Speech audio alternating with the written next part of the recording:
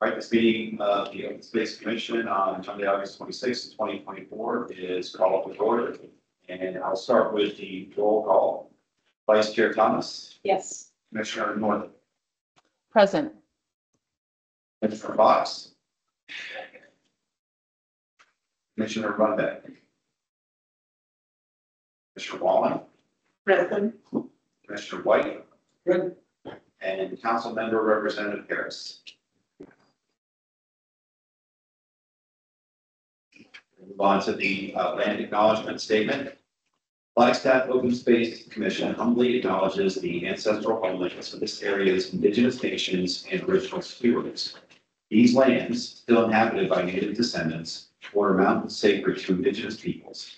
We honor them, their legacies, their traditions, and their contribute, continued contributions. We celebrate their past, present, and future generations who will forever know this place as home. Next item on the agenda is the approval of the June 24, 20 2024 minutes as written. Is there a motion to approve? I make a motion to approve the minutes from June twenty twenty-four, twenty twenty-four. Second. Second, uh, all in favor? Aye. Any opposed?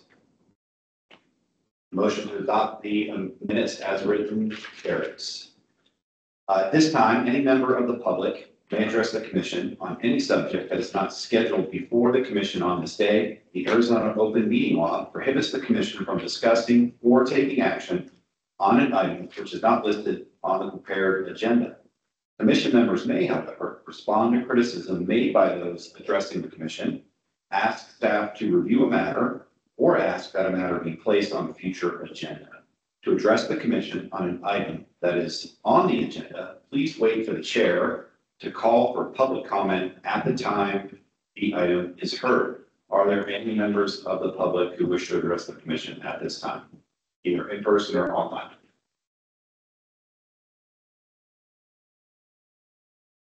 Appear that there are any. So we will move to the business items, and the first item on the agenda is the John Wesley Powell project update. Robert? Yeah, thanks. Our colleagues in community development, Michelle and David, have joined us to provide a couple of updates. Both of these updates went to city council a few months ago.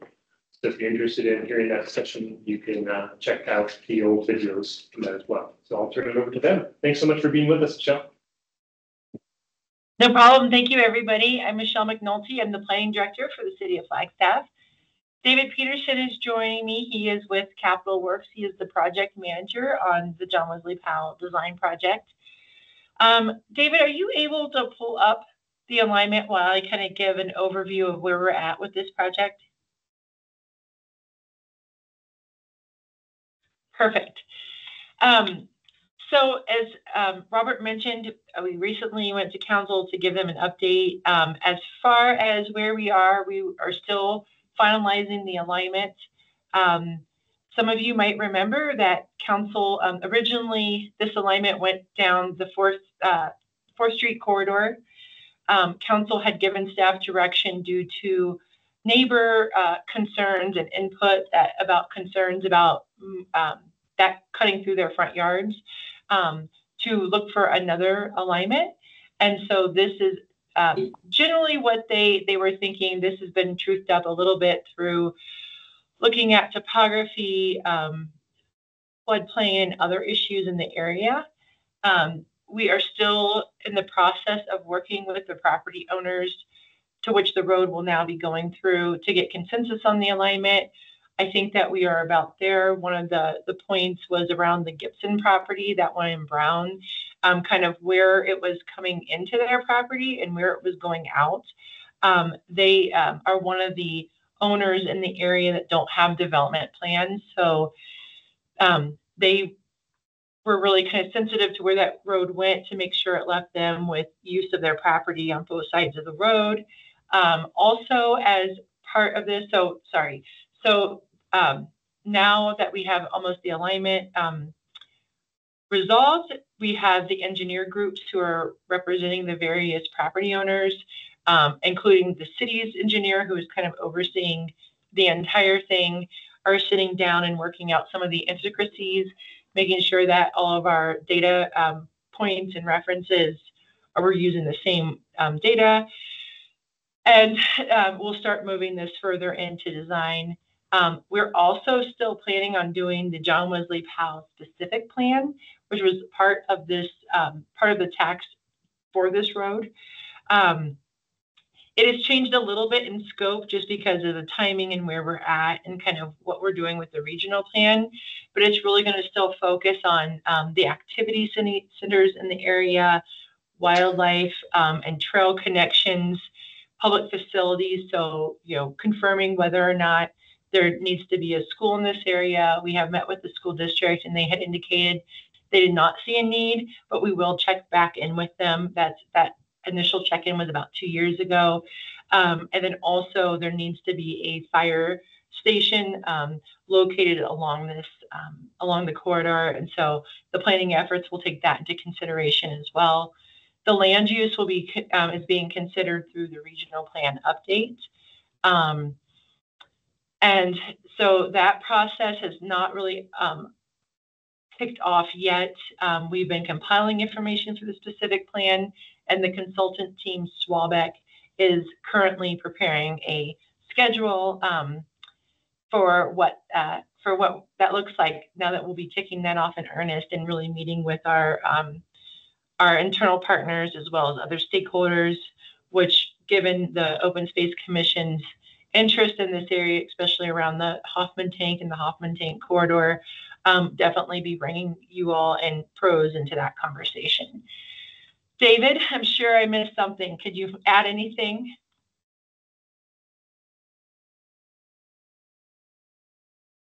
Chair and commission members, David Peterson, project manager here in engineering division. Uh, Michelle, you did a great job. I think that was a great synopsis. There's a couple things I'll, I'll add in there, but there's not much left to add. Uh, we have been talking with Game and Fish as well, uh, talking about wildlife. We've seen collar data uh, and movements in this area as well. So trying to figure out how we can safely, uh, you know, have uh, apply and build a facility for our community while still keeping an eye and a pulse on the natural environment in this area. So it's fun having those experts on board to be able to help guide us, have the conversation for infrastructure that is going to service that as well. Um, but in the context also being it's private land, uh, we have three different engineers working on the design of this road at this current time. Um, so it is something that we're working on and balancing. We have a brilliant people working on it, uh, a lot of uh, good good team members aboard. So we're uh, excited for a really good outcome on that. I would also mention that we've done a couple of walkthroughs recently. We've had uh, quite a few of the council members out there. We've had staff out there in the recent, probably last six weeks. Uh, we've walked this alignment with the designers, with the developers, with the property owners, with the engineers, um, to really hone in on on this yellow line that we've put on on this map here. Um, this yellow line makes Michelle and I excited because there's been many lines up to this line uh, over the last six years. Uh, so we have probably could have a little bit of tweaking, uh, on, at least on the horizontal geometry of this road. Uh, but for the most part, it's going to look pretty similar to what you see on the screen here. Uh, and I think that that is exciting for us because we've been working a whole lot, like Michelle had mentioned before, you know, the old alignment going down uh, here on the right through the old 4th Street had a handful of uh, kind of fatal flaws, we'll call them, for going in that route. And it's excited now to have a, a new alignment that works, uh, still have logistics going through, and people are constantly asking if we have an update on the project. And it's it's moving slow, but it's moving forward. Uh, so it, it's exciting to see that we're making progress. A lot of moving pieces on this. Uh, excited to have uh, open space on board with the corridor here and hoping we can, you know, realign trails in this area and also pass wildlife uh, and pedestrian and bicyclists through this area as well. And um, yeah, it's exciting and that, and I can leave it at that. So we have time for questions. Um, but Michelle nailed it. I think her update was great. And I appreciate Michelle and the team. And I thank you, Robert and Martin, as well. I know they're here, but they're also great team members with us working on this very complex, very multi year uh, project that uh, is moving forward. And I'll just throw out there there is a project website I still need to update it, so my apologies on that. We were in front of council. There is a video uh, back in April, I think, that we gave an update on the project as well. Uh, there has been some updates since then, but it has a really good basis on where the project stands today.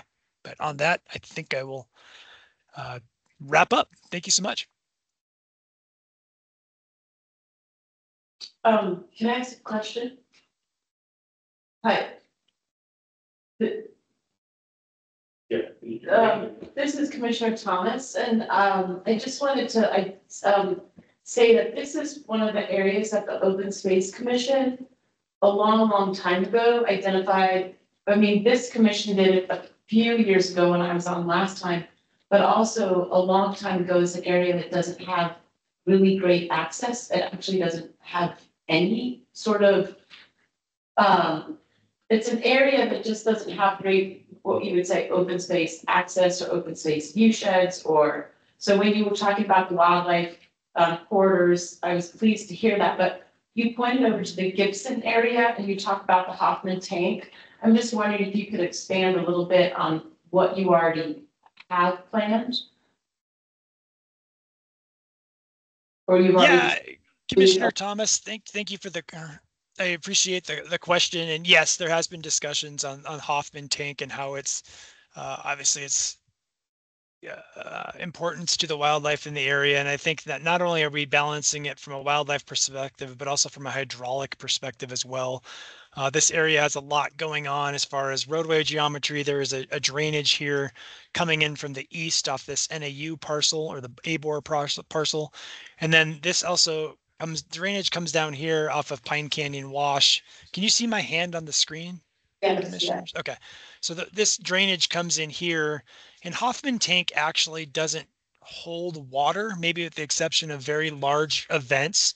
Uh, we have multiple members of our team that have recreated in this area for over 25 years uh, and, and have never seen water in it. So uh, and that's also indicated indicative of the vegetation that grows in that tank as well. It's not a, a water-based vegetation that's growing in there, but I don't want to belittle the importance of Hoffman Tank. It is uh, a route that wildlife uses here based on the, some of the data we've seen, and we're working with the engineers and the biologists and the specialists uh, to be able to make a safe environment. So uh, if the roadway is going to be adjacent to that, if it's relocating a tank or doing something where we're not encouraging wildlife to congregate immediately adjacent to a roadway.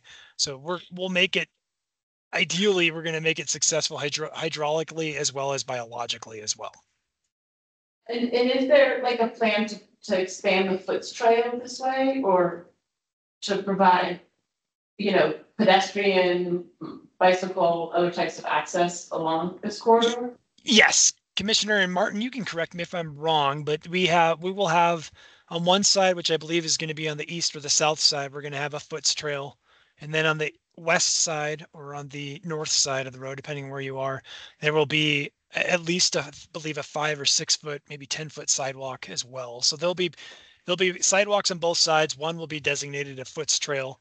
Uh, and then that trail, we're still in the discussion phase of where that's going to peel off. And it's going to probably be a co-joined Arizona Trail in this section, and then hopefully go up somewhere up this drainage to tie into the existing Arizona Trail as well. So somewhere in this region here, we're hoping for either an underpass or some, again, we don't know the structure engineering wise that's going to go across this area in floodplain, but somehow there's going to be a crossing here that's going to allow pedestrians, uh, bicyclists and wildlife to go under this area in this floodplain so that your trail is going to hook back and then there'll be a Mar- I'm, Martin, I don't want to totally botch this, but I believe there's another FUTS trail that connects going to the north as well. But Martin, could you elaborate on that? Uh, yeah, yeah, thanks, thanks, David. Um, yes, uh, Commissioner Thomas, we're, um, we're planning on, on this area being, um, access to the forest for both these future communities as well as existing parts of town uh, they could access out to the national forest, which is the gray area just south of um, what's shown in this map. So every, everything south of what, what the properties that you see here are, are national forest. And in fact, there's a couple of trails that come very close, including the loop trail, yeah, down down in that area. that we make a connection to. Then, of, then of course, the big point of connection is the Arizona Trail, which goes through this area currently, uh, which could potentially get realigned, but we need to make sure that that is a continuous uh, route as well. So, three things happening with trails. One is we're giving uh, kind of commuter access to these neighborhoods, future neighborhoods. Two is we're providing points of connectivity for future and existing neighborhoods out to the forest. And then three, we're making sure that the Arizona Trail is connected through here. Hope that helps.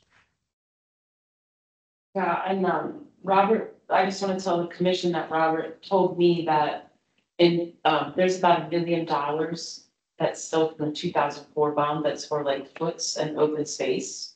And it might be, this might be the kind of project that we should, you know, really make sure that there's, that the FUTS open space sort of combination can happen and that money could be used for something like this where, where, you know, if if we can make it open space and not just a, a sidewalk right next to a, a road, but something di- different than that. I mean, not that that isn't a good plan, um, but, you know, to start with, but, um, yeah, I think open space would just like to, to, th- this area was identified as a place that didn't have a lot of, you know, the way it is right now, it's got some user trails, but when it gets developed, it's gonna be a totally different place. And it's, we, we're just trying to be proactive instead of reactive the way we are in other parts of the city currently.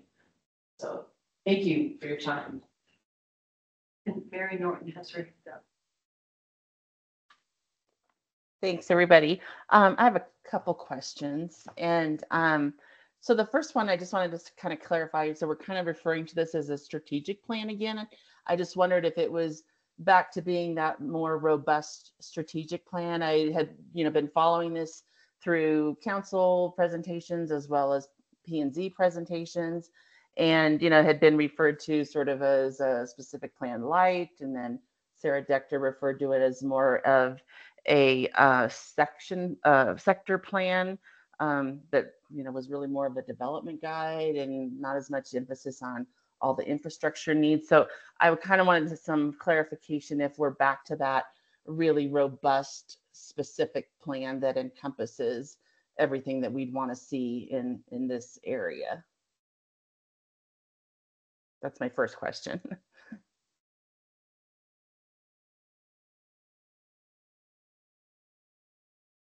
Um, so Mary, if I understood your question, you're kind of asking like, what is the, kind of what is the, the plan for the specific plan? Well, is it, is it back to a full scope specific plan?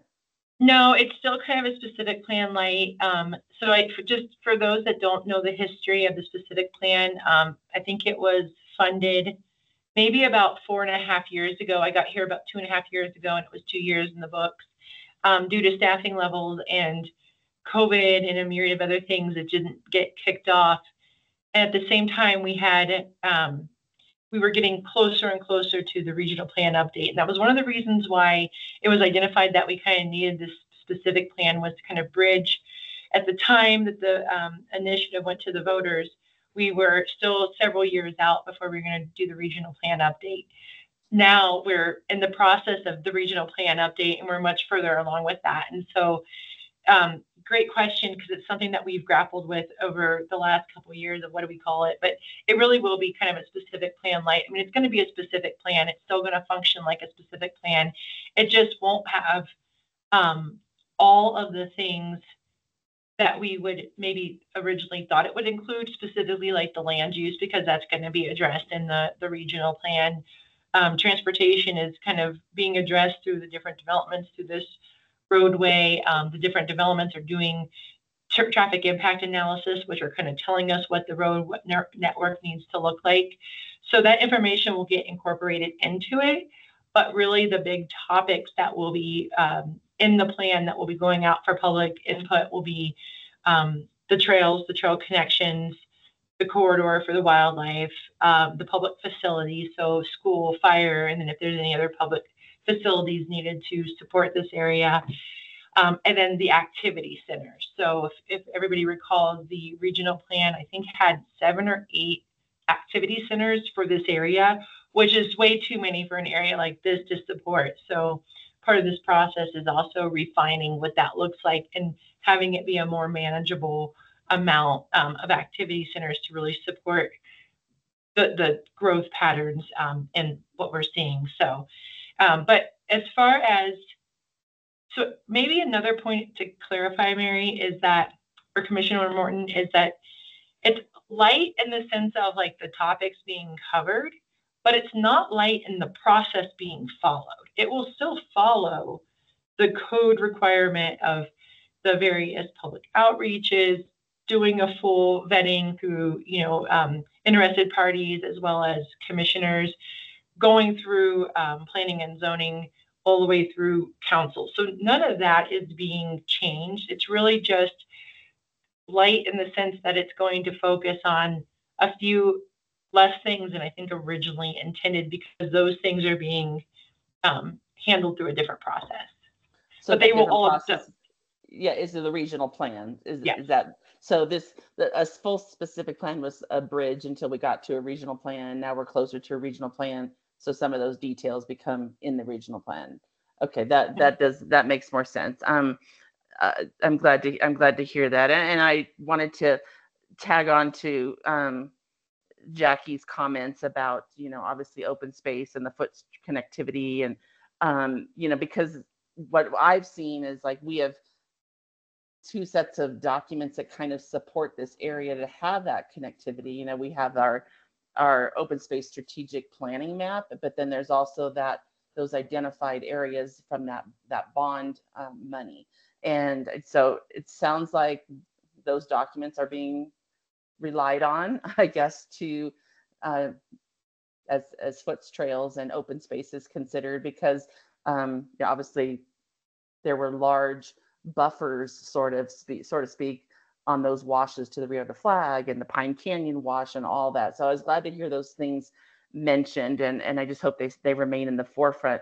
But as we have um, as this moves forward, and even though some of the things are covered in the regional plan, which will is still in the works, obviously your work on this end is still in the works, but yet there is a development that's part of all that, you know, that's on the development status report. It hasn't come before us on in P and Z yet, but it's on the development status report for the Pine Canyon expansion in that lower portion of the symmetry's uh, 405 acres. And and I noticed that little odd 126 acres that they're working on, calling it the Pine Canyon expansion. It seems to align with this road and going through, you know, the Hoffman Tank area. So I just wondered what becomes the guiding documents if they're not officially in place for a development that's already moving ahead through the development department.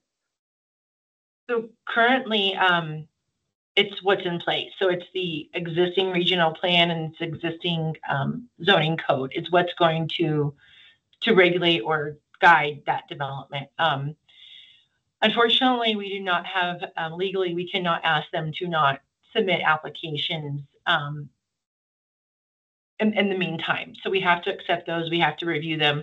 And what is adopted today is the guiding documents that will, um, dictate their approval. I mean, a plat really is, the findings really are, does this meet zoning code? Um, and so it's, it, it would be hard to deny that plat without this being in effect anyway.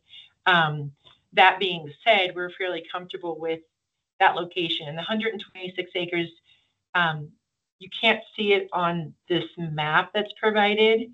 Um, but, so the property that Mayor, Commissioner Norton um, is referencing is the one in purple. It says Symmetry um, Company's 405 acres.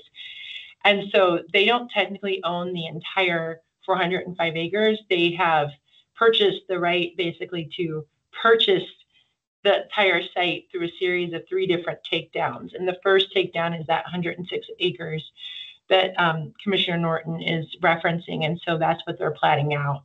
Um, essentially, they're going to plat that, and I suspect it's a financing mechanism. Then they'll, once they sell those homes, they'll do the rest of the takedowns. They have until 2027 to take down the other two. Um, but that being said, we're fairly comfortable with the alignment as it goes through um, their property um, and then gets up into the Gibson property. And so they'll be platting it with that um, with that plat. I don't know if I answered your question. I gave you a No, lot of no, you, you, you did. Um, I, I guess I, I'm, I'm still somewhat alarmed by it to not have some of the guiding documents that we would want on this corridor while, you know, while this is moving ahead. But nonetheless, I just wanted to, to find out how that, how that's working and at what point, you know, really can we have some say in um, how it's, how it's being developed along the way. But thank you. You're welcome. Any other questions? Um, yeah. Um. Jackie and Mary have asked, or addressed, or broached a number of the questions that I had. Uh, and I have a couple of little bullet point questions. What's the total acreage? All the colored things put together? I'll do that. David, you're on mute. I suppose that would help.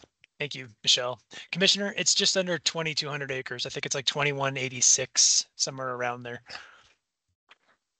Keep in mind, it's a very topographical rich area, as you can see by the hillshade behind here.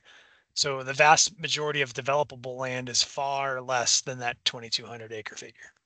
Uh, And then, um, Martin said that the city limits where the line went below there, uh, the bottom line there, the south. Is, is that really so, or, uh, does that mean that the current Powell Boulevard goes through fire service land, or, or is that just a rough comment? It's in that area. I was just wondering where the southern limits, city limits are. Commissioner, the road falls in entirety in city limits. Uh, I will point out that the two green islands here uh, flanking the old, uh, the Fourth Street alignment, this island here and this island here, those are county parcels. Uh, but everything that's colored on this map is within city limits, minus the county parcel I just pointed out. So the city, this, the city limits are be- below this line here. And is it significantly be- below or I- I- What was the second question? My apologies. can it be below and who owns that land below that? Yes, that's Forest Service below that. South to the south or the bottom of this map. Down here, and then I believe it's more state land off here to the east. But Uh, it is Forest Service land to the south. I I want to belabor it, I don't. I don't know whether that line there at the bottom is the city limits or the city limits is below that line somewhere. I believe that is the city limit, but I'm not a hundred percent sure. Okay, uh, it's it's not terribly important, uh, from, uh, a commissioner's point of view, this is Matt White, I didn't say my name. Um, Regional plan always talks about, has been talking about the last regional plan and this one, activity centers. And they are being considered on top of something that is less planned than this is. Uh, My point is, I would like, I think it's wise to consider the trails and open space is also at a level of activity centers, because they're all connected. Uh, if you have an activity center, you certainly want to have uh, pedestrian bike uh, ways radiating from those activity centers to the growth areas. You also want to have them connecting any of the open spaces, and now open spaces covers all kinds of uh, things, not necessarily the ones that are under our purview, but there's open space for uh, developments, private open space and that kind of open space, and all those kinds of open spaces. It seems to me that along with activity centers, we ought to have kind of a general plan of not just connecting one foot system to another foot system and not just connecting a foot system, a foot trail to the fire service below. Uh, It should be raised to a, a level, and the reason I say that is from history. Uh, Since nineteen eighty-eight, and Martin knows this as well as anybody, we've been playing catch-up on the foot trails systems. Always catch-up, always catch, up. can we work this in here, can we work that in there? Uh, there's an opportunity to have it all as best we can as part of a specific plan, and not just a single trail connecting and say, oh, we've done it, or as Jackie says, a, a, a paved trail, a paved road, uh, pathway along the road. Those are all good, but that's not, that's not what makes Flagstaff Flagstaff. Um, so I'm just trying to point out in the planning, trails and open spaces should be at a level of activity centers at least. Because it benefits everybody in the long run. It benefits developers, because they got an idea what they could adjust to. It, it, it will benefit generations afterwards. Um, I'm just throwing it out, but I will finish by saying kudos, because at least you mentioned all the important things as far as, uh, what you're looking at is, uh, ways for animals, the pathways for the animals, uh. You're considering open space, you're considering trails, you're considering the whole picture, and I, I really appreciate that. I'm just talking about maybe raising it to a higher level. I'm done. Commissioner, I just pulled up in GIS. I was wanted to add on that the the city limit boundary is actually a diagonal. It's about a mile and a third south of here, so it's it is down in the Forest Service property, well south of this project. So it is not. I apologize. I was wrong. It was not the southern boundary of this map. It's much further south. Well, that, that's good to know. Because Forest service land that's within the city boundary is uh, up for grabs for one thing, but it's also up for uh, our service trails and other things that, that, uh, so it's good. Thank you. Of course. Any other questions from the commission? Uh, I've got one, uh, quick one. Can you remind me the, is the road two lanes, four lanes, and then if it's different than the existing JW Powell, how will that impact that feeder? When it comes into that existing road? Yes, Commissioner, I can I can take that question. Uh, it, it will be built uh, initially as a two-lane road. However, our ideal way of construction is to go from the outside in. So we'll take the requested right of way. It's approximately about a hundred foot cross section. Uh, we'll build the outside lanes, have a larger median for the time being, and if the time ever comes that it needs to become four lane, we have that capacity to infill rather than expand the road in the future, which is much more costly uh, and much more impactful, especially down the road. But uh, all indications are right now it'll be a two lane road uh, for a while. So it's it's going to start as a two lane road with some turn lanes here and there as necessary as development uh, comes along. But it will be a two lane road with your uh, FUTS trail on one side and a sidewalk on the other side. Is, is that based on projection traffic, or is that a budgetary constraint, or just what's like the reason for It's- that? Commissioner, it's been modeled by uh, David Wessel and our Metro Plan partners and here in the transportation of the city as well. And it just is not shown to have a need for a four lane road, uh, especially initially. And then that's also been the feedback that we've had at open houses that we've hel- held uh, to not have as big of a roadway coming through this area has been a desire that's been shared multiple times. So it, it's it's kind of a, a multitude of answers on that one.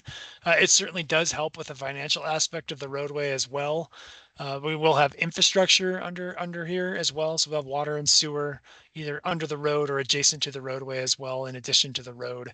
Um, but yeah, there's a there's a myriad of reasons why it's going to be two lane, but that's the again going back to wanting to serve the community to the best. Uh, the two lane road was the best solution at this time, and it was modeled. Thank you. Uh, are there any members of the public that wish to make a comment on this? All right, well, thank you very much for taking the time to, uh, to brief us and keep us up to date. Uh, appreciate the work on this. Thank you for your time, commissioners. Anything else from staff on this? Um, just a reminder, she thinks, um, that we, this is included two thousand four bond funds, as Pete mentioned.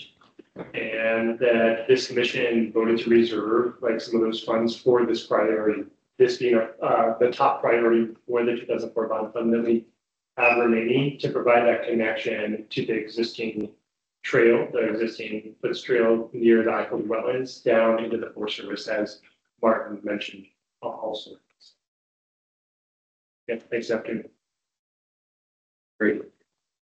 The next item on the agenda is the land availability and suitability study and code analysis project. uh, Potentially referred to as LASCAP, if I'm reading this correctly. Uh, update and discussion. So Robert, turn over to you. Yeah, um, thanks again for, um, Michelle and David for being here. This item also went to, uh, city council and we thought this would be something of interest to the commission, so. Providing update, today. thanks so much. Okay, um, I am just trying to get this into present mode, so give me a second. Please.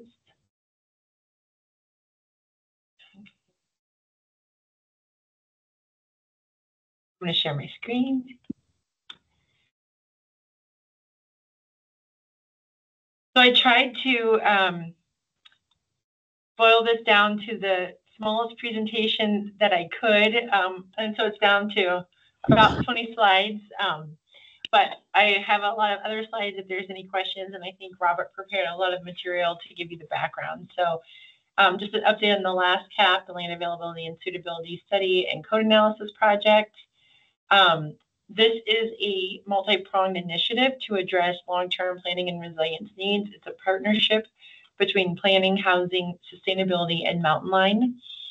It's highly um, coordinated with various uh, divisions and sections throughout the city, including engineering, specifically development engineering and transportation, fire, building safety, economic vitality, water services, pros, and others. And it provides a much needed base and context for recommending code and policy changes. So the scope of the work is the land availability and suitability. So what land is available in Flagstaff and what is the development potential and barriers. And then um, the second part is a in-depth and development um, code and process analysis. And when I say development code, that's anything that touches development, not just zoning code. So building, fire standards, um, engineering standards, um, in, in, addition to subdivision standards and our um, zoning code um, through the lens of city council commitments to address housing and climate. Um, and it's analysis of what's working and what's not. And I want to put the emphasis on what's working because we have a lot of things in our code that does work, that do work, and we don't want to throw that out. We really want to just fix the things that aren't working, but we don't want to tinker with the things that aren't working.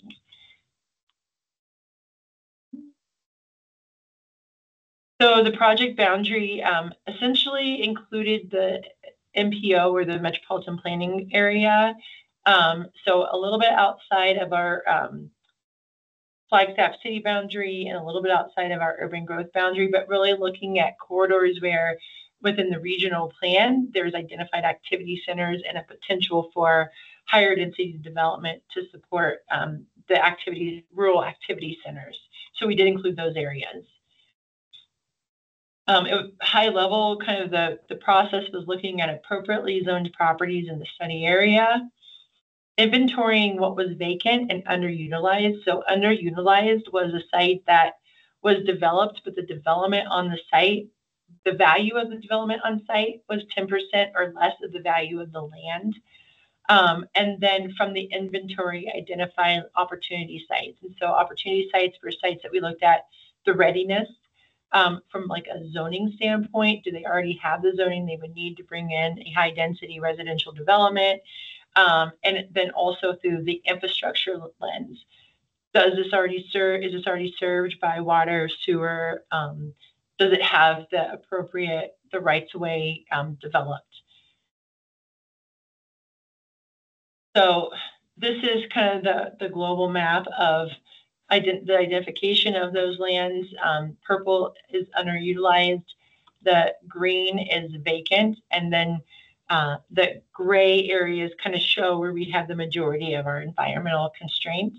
I believe that Robert uh, provided a link to these studies. If you go into the actual study, this map is broken out into a series of maps so you can see it with more clarity.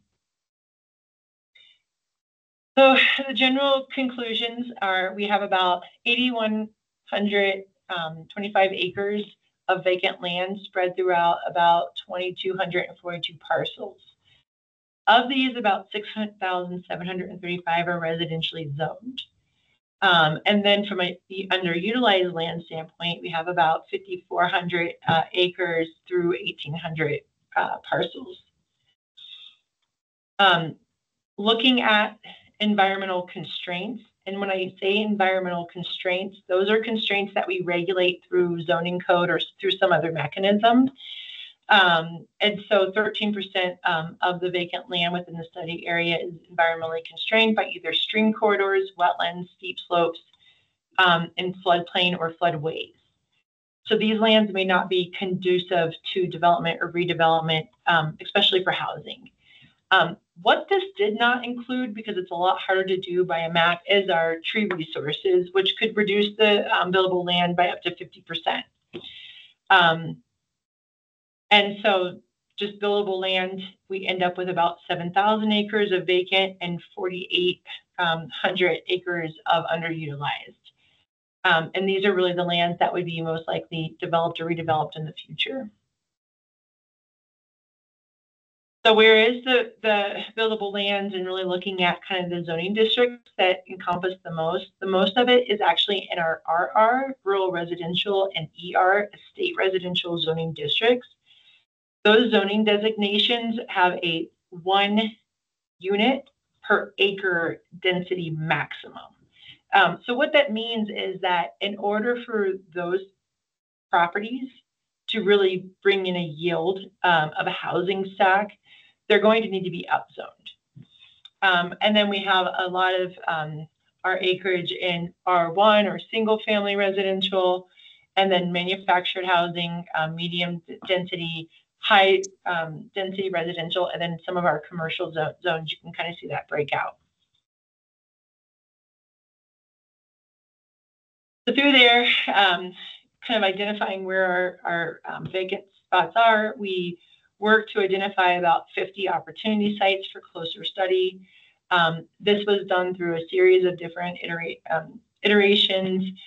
One was just um, an interactive comment map. So kind of following what, what has the right zone, what's ripe for redevelopment because of its um, because of the improvements on the site and that value uh, related to its land value. Uh, did an interactive comment map with multiple city divisions to really understand different challenges that they knew that you know are harder to see just looking at a map. Um, and then our consultant team did a series of site visits we also um, recommended inclusion of sites from um, the 2023 Downtown uh, Flagstaff Vision and Action Plan, which identified several catalytic sites. The trust land, um, that's where a majority of our um, lands are and our vacant lands are, and they're in that RR or ER zoning designations. We also looked at Forest Service administrative sites very clearly not Forest Service lands, but just the administrative sites. There was a recent farm bill um, that allows for Forest Service to work with local government and provide workforce housing um, on those sites. And so we wanted to explore that. Um, as of right now, that I think that farm bill is set to expire in September, and it's I believe they're trying to get it renewed, but it's not clear, so we're not sure where that landed. And then um, redevelopment of existing public housing sites the city owns. So this is um, the the graphic on your the map on your right. I'm sorry, the one on the left is big picture where kind of the, all the opportunity sites kind of rose up, and then um, the one to the right shows kind of the downtown. The one in the um, there anything shaded in blue are potential opportunity sites. The ones that are outlined in red correspond to the ones that were identified as catalytic sites in the um, downtown action and vision plan. So just kind of a synopsis of this, the city, um, of all of our uh, opportunity site characteristics, the city owns 11 of the sites, almost 80 acres. The county has four sites. National Forest had four. State Trust had five, but a total of 2,100 acres. So you can see where, where a lot of that is in our state land um, holdings. And then 32 sites um, were in private or other holdings and um, for about 365 acres. So current development or land use, so we had four sites that were um, pretty much developed, um, including, you know, different, you know, whether it be um, a development like a, an old structure that maybe wasn't 10% of the value, could include surface parking, and then just um, 20 were entirely undeveloped. So kind of a split between what would be redevelopment versus undeveloped. 36 of the sites were zoned commercial and 30 were um, public facility, public lands for 30 acres, two sites, sorry. And then here's the breakdown by, um, by density. And again, you can just really see a lot of the, the highest um, yield of available land is really in that rural or state residential zoning designation. So really what this tells us is that a majority of the land that we need to bring our housing online needs to be rezoned and that we have a lot of missing infrastructure to those um, to those properties. And then downtown specific, we're dealing with aging infrastructure. We have the floodplain and drainage issues. However, um, the Rio de Flag and the downtown mile, all the projects associated with that will likely be an opportunity to bring a lot of those properties out of the floodplain, which could open up other development potential. Um, you have the proximity to the railroad noise, which isn't a deal killer, but when you're talking about certain types of federal funding, that can have an impact on um, how you need to mitigate that housing um, to, to meet those funding requirements, which can add a, a significant amount of cost, and then access and parking. So now we start to frame this in the context of the regional plan and where did we where did it really call for? And when I talk about the regional plan, I'm talking about our existing regional plan. Um, and where um, does it call for new housing? Um, and so you can see that it's our kind of our older established neighborhoods that are um, zoned commercial and or medium residential and um, high density residential. Um, so that tells us that we need to make sure that those zoning districts will allow for um, for redevelopment.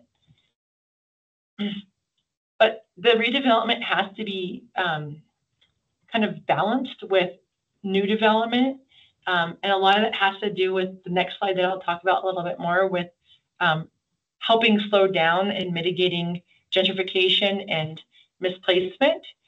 Um, but you can see where we have to look at some of our other areas um, that are not necessarily already developed to provide some of this housing. And so, again, those lands are going to be the ones that are zoned rural residential and estate residential. Um, so we need to look at our rezoning process and our subdivision process to make sure that it's keeping up with housing needs, but that it's still um, that we're not losing out on um, meeting our other community goals and needs as well.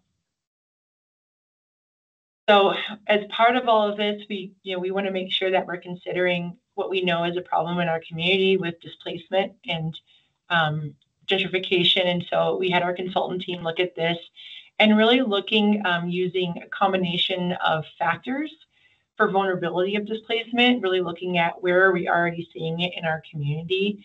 Um, and really we want to make sure that um, that helps us understand that, you know, we need to bring housing on everywhere. I mean, we housing production helps offset displacement. Um, and so we need it both inside of our vulnerable neighborhoods, um, redevelopment, and then we need it outside of our uh, vulnerable neighborhoods, whether that be in other neighborhoods that can help absorb infill and densification, but then also opening up greenfield areas.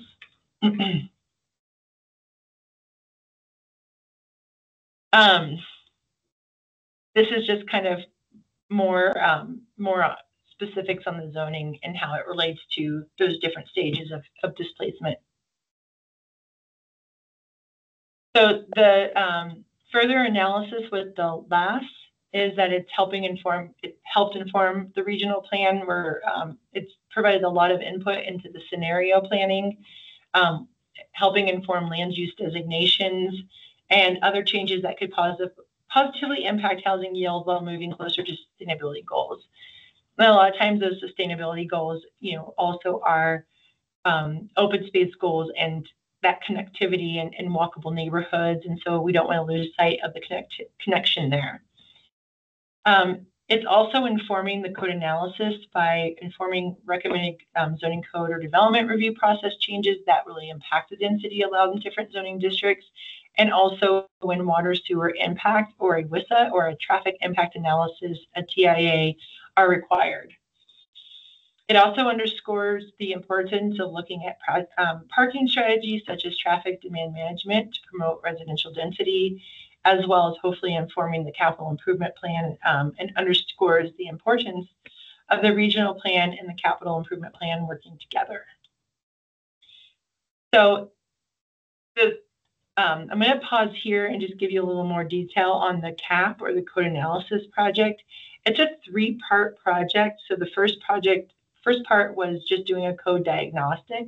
And what that did is it looked at all the codes that touch development and really started to understand where in those codes we have barriers to achieving density and climate goals.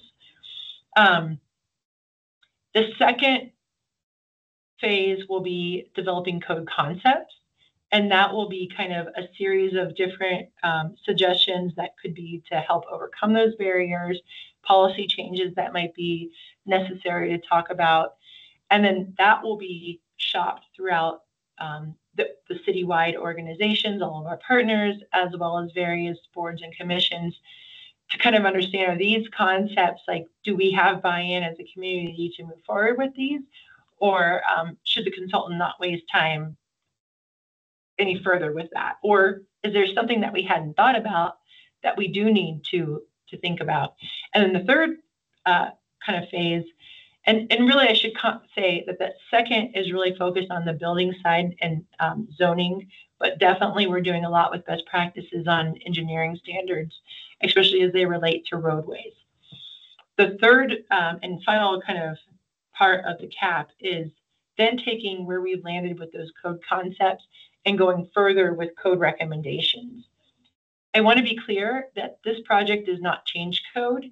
It's giving staff an ability to um, basically prioritize a workload of a series of code changes that we would make. And those code changes would go through our typical process um, of public outreach, going to planning and zoning, and then ultimately going to council to approve. So I just want to be clear that this, this project is not making code change, it's only informing code change. So as part of that diagnostic, which is the part we're in, uh, what we really found out is citywide issues are our review procedures, really with zoning map amendments and subdivision review process. Um, they are deterring development and slowing down the pace of housing production. So we need to, again, how do we balance that so that those processes keep up with development, but also that we don't want to lose um, the opportunity that we have within those processes to make sure that we retain certain community values and goals. Um, it's also looked at our affordable housing and our sustainable building incentives. And what it found is that neither of our incentive programs are really economically compelling and it's undercut by other provisions in code. So what that means is that there's other things in code that get you the density bonus and get you um, essentially the same things that these incentives are trying to get you. And so they you don't need to take that incentive. One of the things we found, for instance, is that other things in our code actually prevent um, in certain zoning districts, specifically R1, the ability to even meet the minimum zoning require or the maximum zoning requirement. I'm sorry, maximum density requirement. So if you already can't meet your density and max out then you're not going to need that incentive to get more density. And so we need to look at these incentives to figure out how do they work better um, so people are using them. Um, resource protection, it's not optimized to balance the housing production goals with environmental goals. we're not saying get rid of the resource protection overlay. We're just saying maybe reconsider how we're applying it to development so that it's actually achieving um, the intent of what it was meant to. Um, and then minimum parking requirements is also a, a critical barrier to housing affordability and development afford, uh, feasibility, as well as climate goals for higher density housing in transit served areas. And then our high occupancy housing, um, it requires a conditional use permit and other specific development standards, um, which are a critical barrier to high density housing. and then it determined that we had just some issues in zone specific areas. Um, so our R1 and R1N, um, low density and restriction and housing types are inconsistent with our housing and climate goals. Um, our medium residential or medium density um, is needs a higher density allowance um, to encourage smaller, more affordable units. And then our commercial zone um, could provide for higher densities that support our goals but looking at the parking requirements in HOH or the high occupancy housing regulations um, limit that potential. So this is an outdated um, slide, but it kind of just helps un understand kind of the process. So um, for just the last and the code diagnostic portion of the code analysis project, um, we do have an internal internal steering committee um, both for the land availability and suitability group and code analysis. Um, we've been going out to the Sustainability Commission, Housing um, and Transportation Commissions, as well as Planning and Zoning, and then um, checking in with City Council. And we did that for those two. And as we move forward with the code analysis, I'm sorry, the code concepts, and then the um, the last phase for the final recommendations, will be essentially following this same process, um, but with different dates. So um, that's all I have. I do have some other slides. If there's questions, I can show you more, but I'm going to stop there and um, give you all a chance to digest everything I just said to you. Thank you. Yeah, thank you. Thank you. Questions from the commission? You know, uh, not so much questions, uh, just a couple thoughts. Uh, this is a big job that you guys are doing, and it's always important to, to look at codes and other things on a periodic basis. Uh, because things are appropriate at one time and maybe less appropriate another time. Uh, I worry about, and, and this topic that we just heard from isn't directly related to the Open Space Commission in the sense that uh, there's a code that relates to it that's being adjusted or something like that, or, or even the land use. I worry about several things. The Flagstaff is an unusual city because it's an attractive place to come and live. Not necessarily work, but to come and live. And so this great deal of investment in the city. This really doesn't produce housing for the people who live in the city. And increasing the housing doesn't cure that problem. And it also, if you produce a lot of high density, then it causes the uh, lower density houses prices to go up because that's what people tend to want to have. So there's all this involvement that it's really, I, I feel to you guys. The one thing that really popped out on me is that red line, possibly fifty percent of the usable land couldn't be used because of the re, re, uh, resource protection overlay. And I'll give you an example. Uh, Woodlands Boulevard. And to the west of Woodlands Boulevard was built under the resource protection overlay. And I don't see fifty percent of that land not being used. So I'm not sure where that number came from. Uh, so that's just an observation and it's probably out of bounds of the Open Space Commission, but uh, I had the opportunity, so I dropped it. Thank you. Thank you for that feedback. Commissioner Norton, you have your hand up? I do. Um, and, and Michelle and I have talked about this a little bit as, as I've followed this through council and through planning and zoning. And, and so I just kind of wanted a little bit of a follow-up question with, with her, um, with you, Michelle. You know, the last time I had asked, you know, will they get down into the more detailed level of where the specifics of the ownership of those, some of those major parcels or, or any of the parcels are really. Um, I think, you know, the, the way you have it right now where the state land um, has two, 2,187 acres.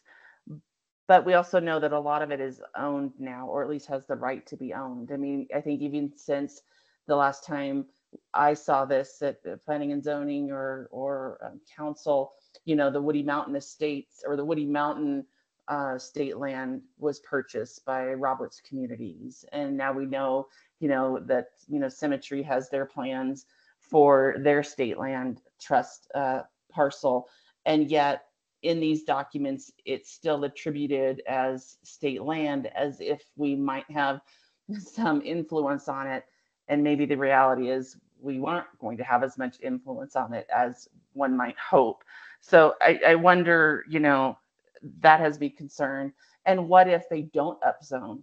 They don't necessarily have to because for some of these estate homes that get built in Flagstaff, it's easy to build on RR or an R1.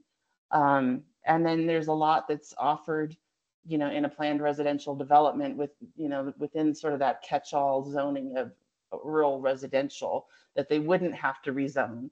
Um, so I don't always know that I would agree that it's a a barrier because there is so much that can be built in those zones without rezoning.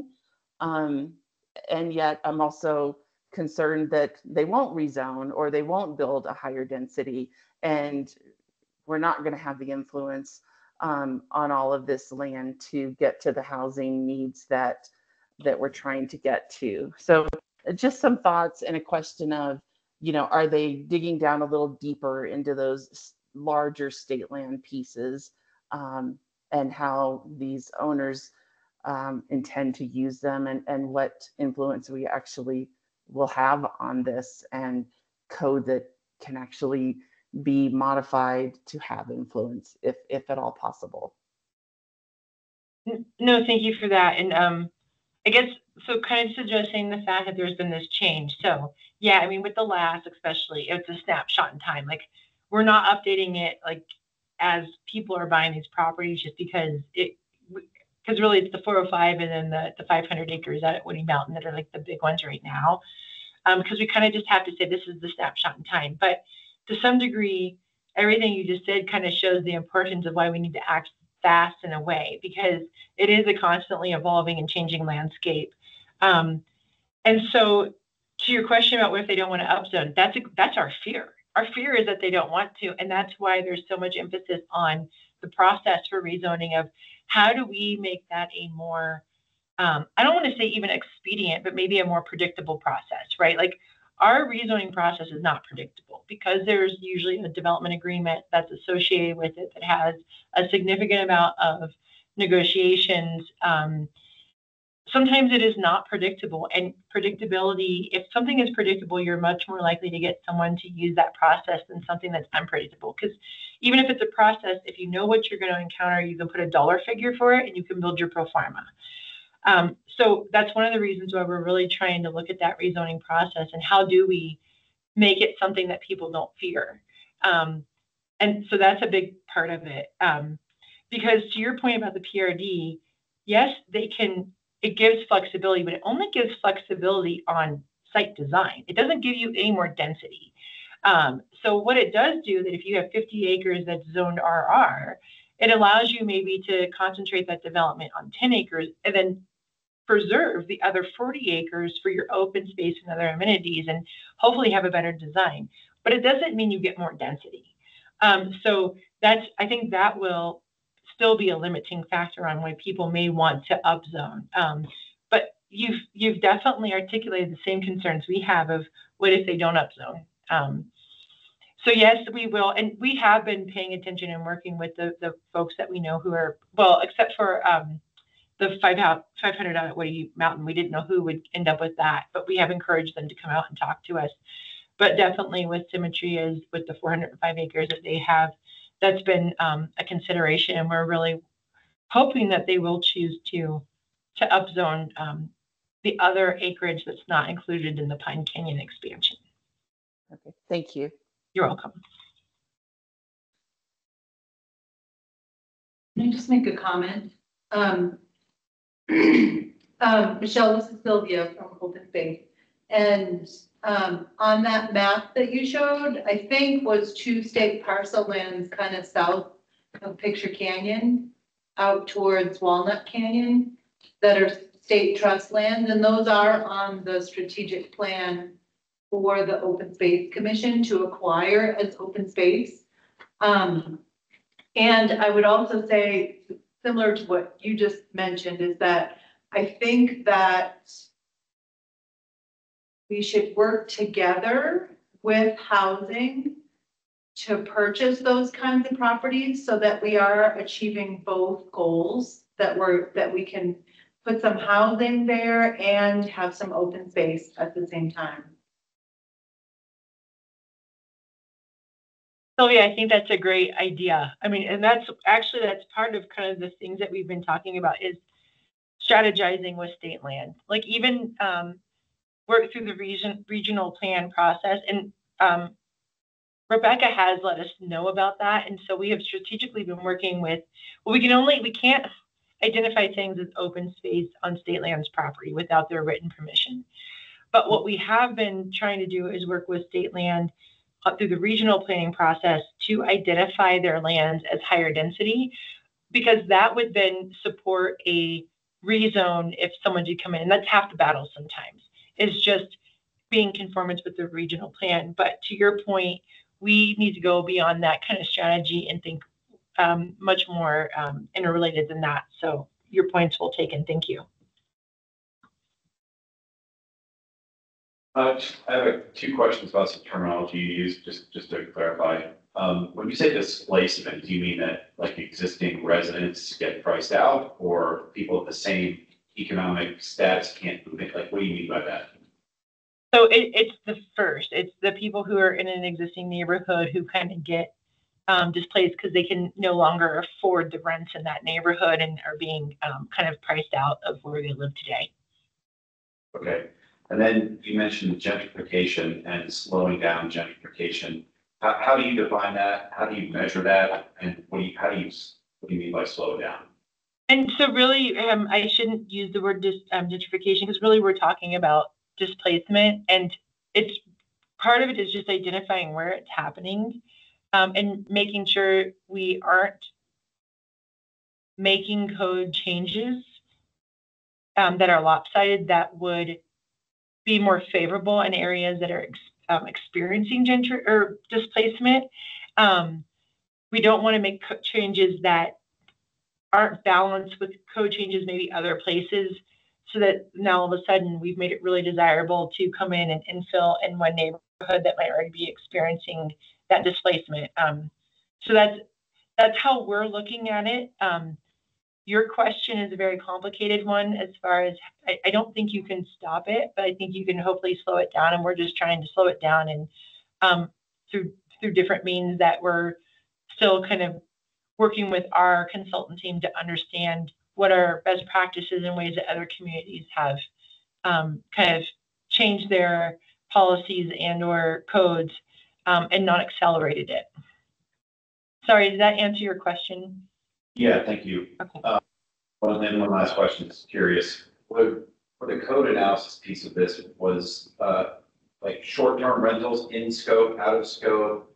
Where, where does that fall into all of this housing demand and supply issue? So it hasn't really been um, part of the scope. It's definitely been on the radar and part of the conversation, but because we are, as a local government, so limited on how we can regulate it, we don't really have a lot of code. I mean, if anything, that would be the barrier is that we're preempted by the state to regulate short-term rental. But no, I mean, and that's about as far as we can go is say that's the barrier. Thank you. Uh, any members of the public wish to comment or have a question? Thank you again for, uh, your presentation. That was very informative. Yeah, thank you all. And um, Robert is an incredible representative from open space. He does not let any of your guys' um, priorities fall off of our radar. So I just have to give him a shout out for that. Thanks, everyone.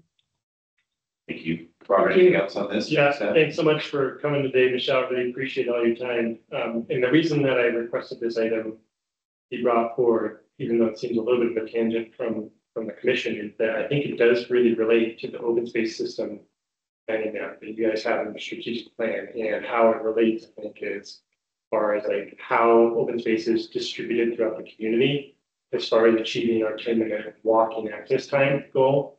And also like, uh, relates to like open space protection throughout the community. So I think it might be something for the commission to consider as far as like requesting involvement in this topic, to be at least updated as it goes forward and, and, and figure out like how we might how it might be important to be, involved. So just something I think that, And you're, you're referring to the, the, to the, uh, uh, availability and suitable study, the last part, or, or both? I guess like the code analysis and how that could could uh be affected as far as like land planability in your study and how that might be related to open space. And I don't actually know all the connections, obviously Michelle. Um, is much more person that's Yeah. is much more involved, but it might be worth like thinking about. But Michelle, you do know about our desire to have everybody within a ten or fifteen minute walk of open space, yeah. Yeah, and so I think to that point, and I'm happy to, to add you guys as a commission to the list that we come in and, and update. We do have a scope, I mean, with our consultant team, and so, you know, um, if we, but I think that that scope, I mean, like to the fifteen minute, um, neighborhoods, like, we've even been meeting with, um, Rebecca and Robert and Amy, um, Hagan to even talk about like, part of like when we look at the resource protection and like how we might do tree resources. Part of that is looking at kind of how can we create like where people are saving those resources in ways that kind of create um, a different type of um, like a neighbor woods kind of a concept and more um, with more meaningfulness instead of just like the developer kind of squeezing the houses in and trying to figure out where the trees go. I mean, there's a fire safety danger to this. Um, but at the same time, that doesn't mean that it's all or nothing. It just means that we can rethink where maybe how we're saving trees and development patterns. So I think like there's areas like that, that there's definitely a lot of overlap to the goals where there is, a, I think, a lot of input that you all could give us and that we could be thinking about how are ways that we do keep, again, that community character and keep these things, but also do it in a way that balances out that housing supply. Robert, I think that's maybe kind of what you're thinking, where we have that overlap coming to this group to get over um, input. I don't want to put words in your mouth, but No, yeah, thanks for that, that clarity, Michelle. That is what kind of what I'm thinking about. okay. And yeah, I'm happy to commit to that. I mean, I think when we get to some of these, we really will be in the territory of where we need input from you all. Thank you. Thank you. Anything else from staff on this issue? Oh, sorry, percent, thanks. Thank you. Um, all right, next is the Schultz Creek Open Space Access and Trail Planning Discussion item. Uh, Robert, turn over to you. Yeah, great. Uh, thanks so much. Uh, our colleagues from real estate, Dave and Carmen have joined us today to give us an update on the Schultz Creek. Uh, you will remember that the city has a parcel of about twenty acres that the city council elected to develop some detention basins on. That is zoned as open space and is a connection over to the Forest Service currently. Prior to that, um, we were working on a trailhead plan for that particular piece of property to help support access to that location. When they built those detention basins, we advocated that there was a staging area on the western side of that property. The public is now using that as a access point up into the Forest Service and also will provide access eventually to our Clifton Trail System from that point as well. In the two thousand four bond, uh, ordinance, we did identify the neighboring property to the west as a potential acquisition for supporting access to this particular area.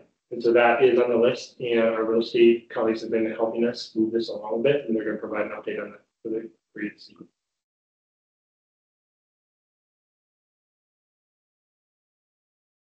Hi, guys. Uh, I'm Dave Howe. I'm with the Real Estate Division. I've been here for uh, just a couple of months now, and this is one of the projects uh, they gave me when I got on board here. And so I want to just kind of show you guys, um, and you probably already know this, what it looked like before and what it like looks like now. So let me share my screen with you here.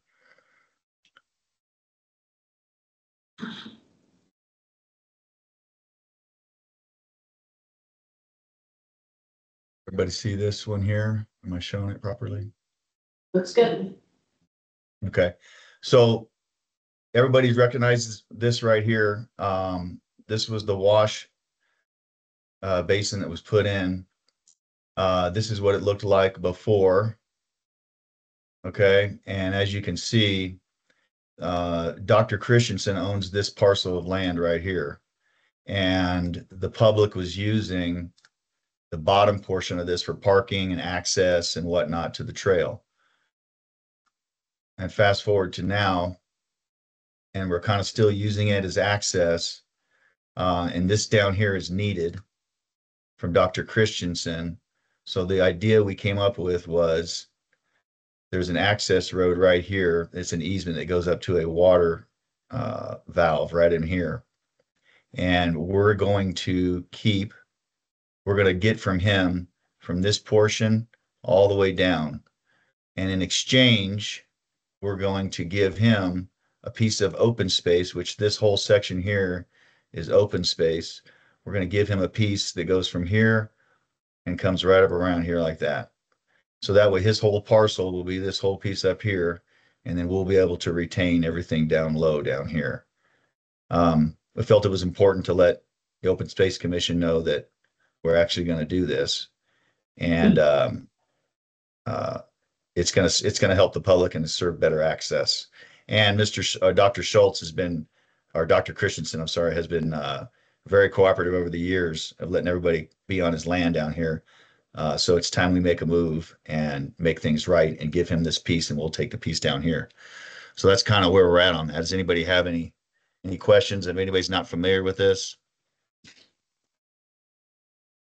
I, you showed the piece that he, that Dr. Christensen would see, but you just did it in a hand waving way. Uh, the reason I'm asking maybe for a little more definitive one there is I'll because, show you, okay, I go can ahead. show you. I can show you some legal descriptions here if this will help out a little bit. This piece here is the piece that Dr. Christensen will retain. And then from this border here on down is the part that the city will receive. Okay, The reason then- the reason I'm asking is right along the eastern border of that and very close to it, um, there's a natural uh, trail. There's a location for a, nat- there is already a trail there, but it's, it's in a location that is, is perfect and does not require folks to go along the dikes. um, which I think will be a, a problem to maintain over a period of time. Uh, people are familiar with it, what's there is dirt. is laid on top of the rock. Um, that provides the uh, dikes there. Yeah, so that, that, that trail that you're talking about. Yeah. It will cut into the twenty acres that the city's gonna give them from, it is currently on open space, but it will go on, it would. The, the, the benefits of that trail are you don't actually have to cross the Schultz Creek drainage, you stay above it the whole time. Exactly. But I'm not sure that anybody really cares about that as much as us. That trail is in the drainage area. No, it's up on the left-hand side, it's on the slope, it's not in the drainage area. It's, it's a, it's a good trail. It's in, it's in, on open space, but it is on the piece, it, but it's homemade. People just made it because it's a good place to put it. But it is on the piece of land that will go, it's right here. So there's, there's the drainage, right? And this route is, uh, people are coming up here and they're riding their bikes Right around like this. Yeah. And they're staying above the drainage system, so you can get over. I mean, the other way to get there is you drive to the Forest Service parking lot, park a car there, and then you go from there. So it's not like you have to. But got- yes, the piece that they're talking about trading is right here. So that route would be lost. Anything people a bit on this, right? Yeah, th- th- thank you, Robert. Uh, just a little bit of context on, on that trail, and I'm, gonna- I'm gonna, uh, share my screen for a moment. If that's all right, so that, there you can see the, um, kind of the recent aerial, uh, along with the parcels to be traded to the city and from the city. And when the, when the detention basins were nearing completion, uh, Robert and Open Space and Pros and, and um, reached out to the Forest Service to see about getting that trail connected because we knew that when the construction was done and that parking lot was in place, that users would start using that parking lot and would need to connect to the Forest Service trails. And if we didn't provide a way for them to do that, uh, they, they would find their own way. Um, so in, in fairly short order, uh, Robert and the Forest Service got a trail established, uh, which is the official one that you see now that kind of goes along the top of the of the berm. Uh, the Forest Service wanted that alignment to be uh, along the top of that berm. We talked about the another alignment to the west of the detention basin along the kind of where the social trail goes now that that you've been talking about. And they they did not want that trail, the official trail anyway, to be located um, along that alignment. Uh, we've checked with them again because if uh, if I think your concern is that if we trade this parcel, then we lose that opportunity to make that trail connection on that side of the detention basins. And we've had conversation with the Forest Service. We can check with them again to see if to, just to verify that that is not their preferred location. That they would rather keep it on top of that berm. Uh, but that but that's kind of the direction that we're getting from them, and and we have given them them uh, some autonomy in making that decision because it, it's to their for uh, their trail system that this connects. Um, so we let them have a little bit of judgment in making that call. Does that help? Yeah, Yeah, yeah, yeah, I mean, that's the reality, I mean, it's not, it's not a designated route and we, it won't be there. It'll be on private land, and I suspect that the owner will leave a fence over there and fence it off, because people will just keep using it. I'm, I'm not sure why I understand why the Forest Service would be against it, other than there's something above the blue and green boundary there on the, on the north end that persuades them that it's not a good idea. But from the long term, uh, if that trade goes through, there'll probably be expansion of parking. The future of that area is more and more and more use. And I think the trail system along the dike is, is really not a long-term functional trail. Uh, If two bikes pass on that trail and one loses balance, go right down on that rip rock. And in other words, it's a very dangerous route. And so I am really uh, concerned that we block off any potential alternate route from that parking area. And I see that parking area expanding. I've counted hundred cars in what's there now. And I could see much more uh, with this land becoming available. Uh, I'm, I'm wondering if, you know, maybe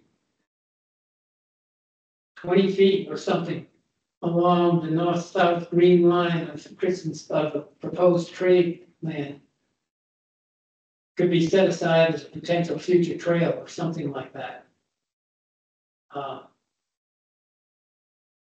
I can't say that any more seriously that the trail that exists now is very, very dangerous. The one over that the, run over the dike sites, yeah. But depending on the erosion, it's about three to four feet wide. And on either side, there's a slope of almost forty-five degrees of just jagged rocks. And if you put a fence up along there, then two-way traffic would be very, very difficult. So I see that as only a temporary solution. I said, I think the reason the Forest Service didn't want it going that way is because at the top of that drainage is what comes down from the mountain. So you have, at the end of that trail, you've got to cross over, no, that's, to cross over a spring or the, or the drainage or something. There's a water, there's water there. you can make a sharp left. Yeah, if you make a sharp left, yeah, the way they rerouted it, the way they rerouted the water, it does stay more to the right and the trail goes to the left. And you have a good point. And ha- has this deal been agreed to? We've been working on it. Yeah, we've been working. No. I mean, Yeah, we the- haven't finalized the deal yet. The expanded parking lot is absolutely necessary, and it, it's really sensible to have it under city management, and it could be done. I, I, love what you all have done already, and, you know, people are not parking underneath the trees and compacting the soil, but they're getting shade, and, you know, we'll just deal with all that, and the porta potty thing is great too. I think, uh, I think Nat, I under, I really understand where Nat White's position is, because as a pretty regular user up there too. It is nice not to cross, the- that trail is excellent. The, the, the user created trail, which I know I can understand the Forest Service might not want, and I respect that. Martin, you've given the Forest Service sort of leverage on deciding what goes um, on. And it may have, you know, it could be a liability for the city as well, having a trail that the user have created versus one that goes over the dike. May I don't know which one the liability would be evergreen on, but. It's, I mean, I think that's why a concern of maybe a buffer along that eastern edge of the trade. You know, maybe just be a part of the conversation. I don't know. I, I'm not an expert in this and you all are. But Nat is really speaking, he's speaking for a lot of people. Thank you.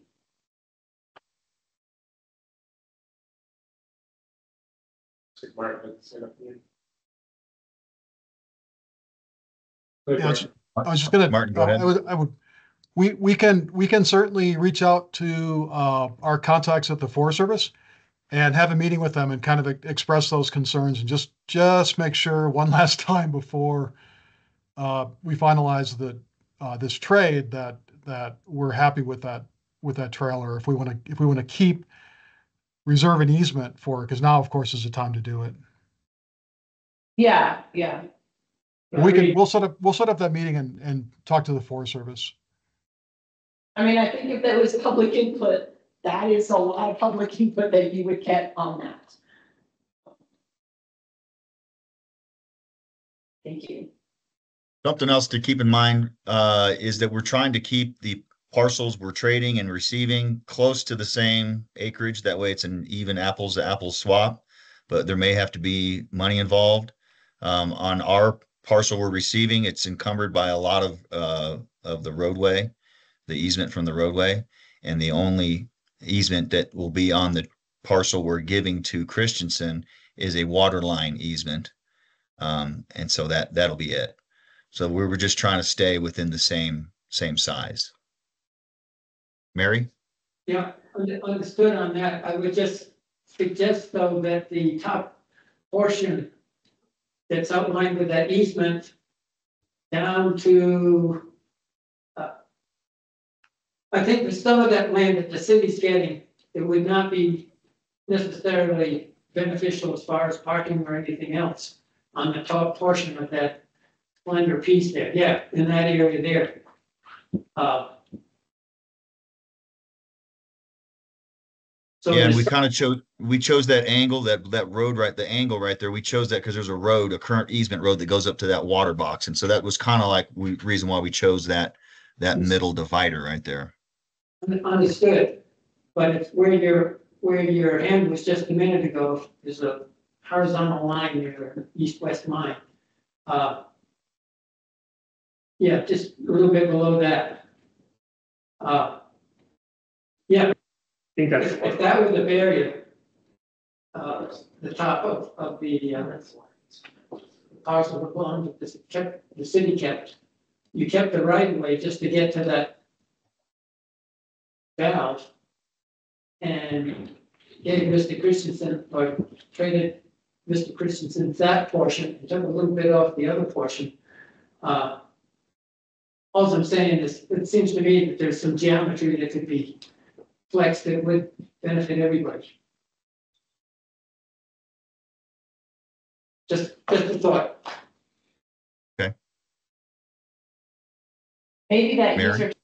Yeah, I, I, I, I just wanted to throw a, a comment out there and just, uh, I support Nat's comment. I, I remember when we went out there on our field trip as a commission and walked over the, uh, the drainage areas. I've been out there since. And, and everybody I've ever been with and even our group, when we were there, we all kind of went, oh, wow, okay, this is the trail. Um, concern for kids riding, um, erosion, et cetera. So I think if there is a solution, for an additional trail that doesn't go over this, um, the detention basins, I just wanted to throw my support toward that. Thank you.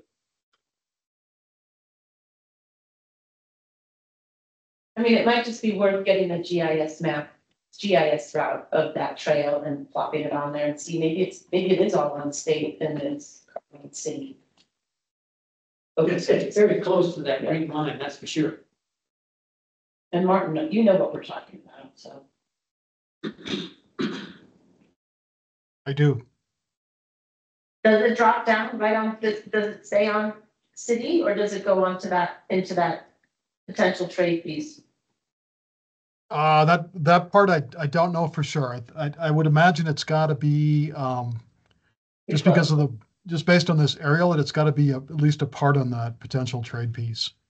Yeah, that top right corner. Yeah, there's just, there's not much boundary here. It's gotta, I think it's gotta be like right about on that boundary.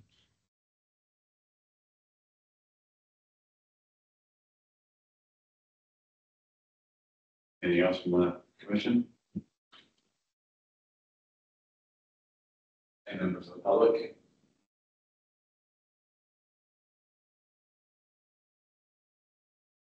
Any staff are on this issue? I don't think so. I don't think anything else to say. Thank you all for taking the time to uh, discuss that. Uh, We're moving now to the reports and updates part of the agenda. And the first item is a council representative report from council member Harris. She's with us. Okay. Noted. Uh, And Commissioner Norton, Planning and Zoning Commission Representative Report. I don't have anything for this evening. Thanks. Great. Uh, The next item is the Open Space Management Report. Robert and Sylvia. Yeah, Sylvia, do you wanna? Sure. Um, so the newsletter, the pros newsletter was included, um, in the materials. Um, people asked about it earlier, so the full moon hike that we had at Mars Hill Trail had fifty people that came to it. Um, and, and they all enjoyed it. And Ashley, um, Flinney is our new open space educator. Yay. Um, and so that was her first day. Um, and everybody that hiked with her said we made a good choice, and I agree with them, so. Um, so she's kind of hitting the ground running with, um, taking kids out on field trips starting Thursday. Um, we have our next, um, we have a couple more invasive weed pulls, which are after work, if you'd like to join us, September fourth and September eighteenth, from five to seven thirty P M at Picture Canyon. Um, we've finished up our invasive weed workshops and weed pulls kind of around town, um, last week. And, um, our next full moon hike is at Picture Canyon on September seventeenth. Six fifteen P M. We'll hike the inner leaf. Not the Don Weaver Trail. Thanks, so. Uh, I had a couple items as well. I know you guys heard a while ago that, uh, city council updated the BBB fund ordinance to include open space, so we're super excited about that. Uh, and now, um, BBB tax is going to, uh, in November. Um, so I sent out a little bit of information about that, and then Rebecca next month will come to the commission to discuss the BBB fund. So if you have questions, other things, um, yeah, you can think about that. And then on, we are working on trying to get on a city council agenda for the seventeenth of September for the next steps for the proposed amendment through the Observatory Mesa natural area to private property holders on that east side uh, for direction from city council. So that would be a general direction from city council, likely a vote um, to move it to the next steps, which would involve a state review for that process. Everybody familiar with that? Um, That's, that's the connection from Hidden Hollow Road Oh, okay. uh, through section six. Yeah. To a series of privately owned parcels on the east side of section six. Yeah. Um, and the, the property owners have been uh, wanting to alter their easement to allow that connection. So that goes to the city council, but then this, then it also goes to the state parks. And what's the order? So the city council, uh, decision, is, uh, I think is not a formal decision. The property owners asked essentially that we take it to city council to see if we have general approval before they spend a lot of money on developing a like final concept plan for that, where they're working out the details. And so we did a presentation to the city council, included the commission's recommendation on that topic. Um, and that was a informational update to them, and then we were coming back to after the decision on that item. The decision being like, is this something that you would consider if the state park system approved it? So then it would go to state parks Okay, for their review process and the state sort of preservation office would also have to be involved. It's, um, it, it would be altering the easement onto the conservation easement property. And, and this would be done after the community up there has paid for a plan. No, I think the, that I, we have asked the state parks what they would need. They would need like a legal description of the plan, but they don't, from my understanding, they don't need a final concept from the property owner. They would go through the review process with the current concept. Okay. And then they would go back, they would come back, if they approved, they give a yes vote. Uh, the state park, state park board. And the, the state historic SHPO approved the project. Then the project would come back to the city for their development process. So I think it would go to planning and zoning. Uh, before going back to city council for a whole. And then the community is on the dollar for paying for a plan. So all these things happen in the property owners pay for the plan. yeah. I think. Yeah. Yeah, so first goes theme parks and then come, coming back to the city, they would have to go through the formal development process, so they'd have to develop a final. concept. That's my understanding. Hope I have that right. And, and the state park board, when they meet on this, will there be property owners there to state their case? And will it be a city person to state the case, or is it just passing information and they just look at the information?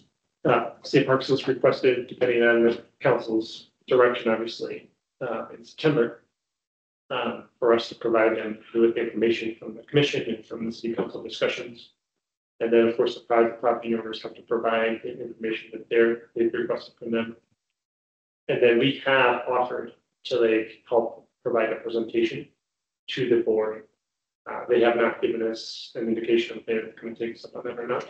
Um, but the property owners, the private property owners will also be notified.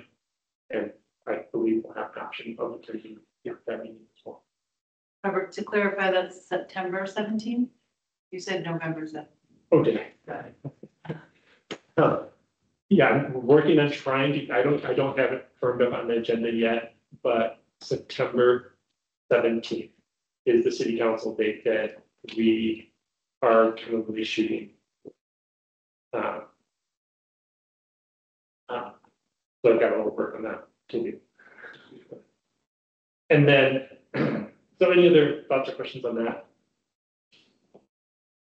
Then the other item that I wanted to bring to your attention again was that we do have the downtown library community room reserved for the nineteenth of December or September. Um, yes. And uh, that is the public meeting for the Observatory Mesa Trail Plan that you all approved for that, for the next stage. Uh, September nineteenth September nineteenth. And I know some of you emailed me at City uh, Hall. about, that's at the downtown library. Library, Oh, yes. Yeah, five so- seven P M. we are working on getting our outreach kicked off for that this week. And uh, hopefully we'll have everything lined up um, for that public meeting. Um, And we'll see what type of direction we get from, well, that'll include a survey and some survey questions at the meeting as well. So we'll see what kind of feedback. And one of the things that I just. I hate to on agenda but I wouldn't mind revisiting the plan one more time. I've had some thoughts. I don't want to go into this whole big thing. I know it's a big deal. Just throwing it out there. Um, we can get that under potential future agenda items here. Two things. We're almost there. Anything else from? I think that's update? it. That's all I've got for the reports update. Yeah. Uh, the next agenda item is the proposed monthly newsletter. Sylvia mentioned that. Is there anything more to discuss about that? I think so, yeah. We sent it out to you. I think it makes, you guys have any questions about it? so. Okay, uh, information, informational items to and from commissioners and staff. Anything fall in that category? I just want to share that several council members came up to me and said that the commission did a great job in providing information on this, uh, section six. The right of way that we were just talking about. And really appreciated the work we put into it. Apparently, they looked at a lot of the discussion documents, at least two of them. Anything from staff? Okay, uh, potential future agenda items, we've already had one. Yes, that's. Okay. I, I just don't want it to take a long time, but I'd like to show back. Is that something that we need to vote on to include it on the agenda, or do we disagree? Uh, Emily? Let me just ask for a little bit of clarification. So I think our plan for carrying the food trail plan to the next step was to do a public meeting. And then initially, we had thought about like summarizing that data from the meeting and going directly to city council with that, with those findings for an informational update and then eventually a plan adoption we have uh heard a, a number of like input from the community and, and so I thought about providing some survey questions to the community and seeing like what kind of feedback we get. And then I could provide that update to the commission. Um, but I think though, if we didn't get a lot of concern from the community about the plan that the, the commission is like recommended to be carried forward, that we just like continue on the next step, which would be go to city council. If we did get a lot of like feedback and a lot of concern from the community, we could write it back to the open space commission. I think that's what I was, the tentative thought for carrying it forward to the next step might be. But I'm open to any ideas the commission has for. For moving that. So that's the one that you will have it, the public um survey or comment or whatever on the nineteenth, right? You collected that day.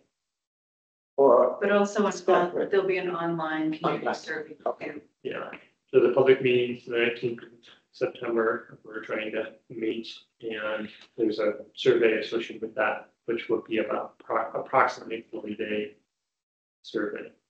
That, we've, we have two surveys already. Um, so we're getting, a- I, I think we're experiencing a little bit of like community fatigue on the topic. So we're gonna keep the questions fairly basic as straightforward, like maybe four or five questions about like how does the plan look to you, you know, like, do you guys feel comfortable moving the plan forward, city council, that sort of thing? And we have some specific topics, we've been getting a lot of feedback from the community on, mostly biking, right? Mostly the bike alignments that were brought up at the last meeting by some representatives of FBO. And so I do anticipate that we might get some feedback from the community on those topics, survey. If we're getting a lot of feedback, I think it might be appropriate for the commission to uh, take a look at it again before we go to city council. And, and the reason that I suggested is I think it might be wise for us to have a plan that, one, of course, is, meets the needs of the community, but has been like, we try to iron out as much as we can before we take it to council, so we don't end up like with a ton of like negative feedback. I think that's. Well, I think I like that approach. you thought it through. I mean, like, we, we don't go to city council, so like, I really appreciate your, like, this is the most effective way to do this, and I just don't want it to get to city council and all of a sudden the whole general public is out there and like, they didn't listen to us, you know, I just, that's the part I want to avoid. I want to have a plan that we present that did listen to people. That's, I'm guessing that's what you're trying to make sure happens as well. Yeah, I mean, I think the public process has been pretty robust. Uh, I mean, we've gotten a lot of comments. I realize that the number of comments that we've gotten overall is small compared to the population of Flagstaff, right? We had that kind of discussion. Um, but I think it's important that we, we gauge the public reason a little bit more. Um, I- yeah, I hate to like, um, keep rehashing the same topic, but uh, I think we've got a really good plan. I really do. I think we've got a good plan. We've worked out a lot of um, issues for the community. I think we've made a huge effort for finding like middle ground. And I think the plan is a good one. So I, I think we just see like how, how the community receives it. Uh, our, let me take a look and see like the approximate dates for the the survey, hold on. Uh, My thoughts, I think, are if we get a ton of comments that seem unresolved, then we can bring it back to the commission and explain our findings and make a recommendation. And that would be like at the September meeting? Or no, because they. And and that's what I want to find out. I think the survey would still technically be open at that point.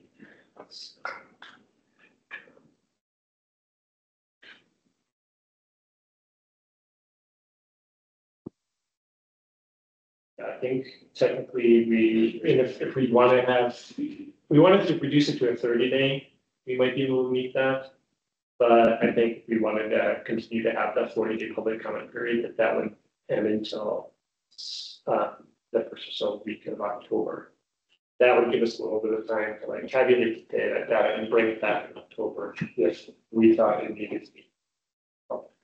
My, my concern with the surveys and even the nineteenth meeting is that we address what several people, mostly Duffy, have brought up, that there are a lot of people that live around the, uh, uh, natural area, Territory Basin natural area. They don't feel like they're being contacted directly. And with zoning changes, there's a perimeter around that area that the city really sends letters to and all that kind of stuff. Uh, I'm not saying they should be treated any differently, but they do feel like they haven't been addressed. And for surveys in particular, I don't know how you do it. But if you just asked for input. And they're a group like the biking group, or it could be the running group, or it could be the equestrian group, or whatever. Uh, they're the ones that will be, their antennas will be up, and they'll be the ones that put, put the input in. And I keep saying, we bought this as a community. And we bought it through the Arizona Conservative Initiative, which has its framework, what it's for. And so the community should have the input in these surveys, and I don't know how you can do a survey and not have it skewed by people that are really interested in it. The other side of the coin is, well, they're not interested in it, so be it, let the people that are interested decide, but I just can't, I can't justify that. So I don't know, Yeah, and- rest assured, we, we hear you for sure. Yeah. Um, we, we have done our best to like get the word out there. as Sure. well as possible, like do different Yeah. venues or or like posters and I've seen those posters. social media marketing or community calendars, things like that. We had added one form of outreach for this uh, wave of of outreach we did in the past, and that is mailers. So we do, we did set a boundary of, I don't know, thousand feet or something like that, around Observatory Mesa. Do plan to set- send a postcard to everybody that's within a thousand feet, so that hopefully we'll meet those immediate neighborhoods there. I, I'd say a quarter of a mile. 'Cause Yeah, I can't remember how big it is, but uh, Big expense. Well, I mean, Right. We need to send those out like this week, if that's gonna arrive in time for our meeting. Um, so we do have the postcard drafted and everything pretty much ready to go. Yeah. Well, that's good, that's, that's an effort. Yeah, at five thousand divided by, it's close to a quarter mile. I mean, it's shy, but. Addition. In terms of a fu- a future potential agenda item, we're gonna await the results of the survey. If the input is such that we have to reconsider the plan, we will vote in September, put it on the October meeting schedule. Did I summarize that correctly? Yeah, I think we'll have an indication of what the survey is sharing with us and what, what feedback we're getting back from the public in September. But the survey won't have closed until the first part of October. And so I'm thinking like if we need to put it on the agenda, you know, Okay. Great, second review. All right, uh, any other potential future agenda items? All Uh, right, the other items that I have, sorry. oh, no, go ahead. uh, with the BBB tax renewal for Sep- September. Uh, I don't know if I'm gonna have this ready, um, but I do have project prioritization and multi-year project planning. And that's, uh, in tandem with the BBB funds, right? So the Parks and Recreation Commission, they built a five-year plan based on the BBB fund allocations that they're getting. I think I'm gonna go eyes for to have input on that same sort of topic. So I'd love to start the discussion, if not September and October. Yes. Um, and then in October, uh, they've been working on the FISAC regional plan twenty twenty-five, and they'd like to come and provide a presentation to the police commission.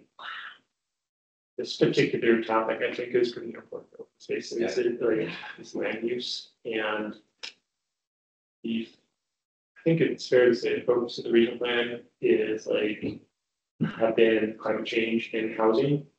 And I think it's important for the commission to think about the language that is included for open space. Especially as it pertains to the last plan as well. So That will be in Awesome.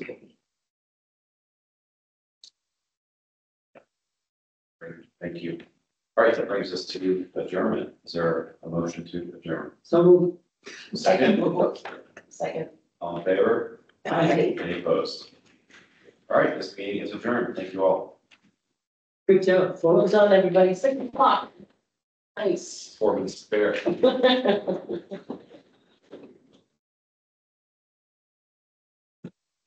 I just wish some of you, everybody else get right. Yeah. You get up kind of slowly, particularly. Making a development. Might need to hurry now.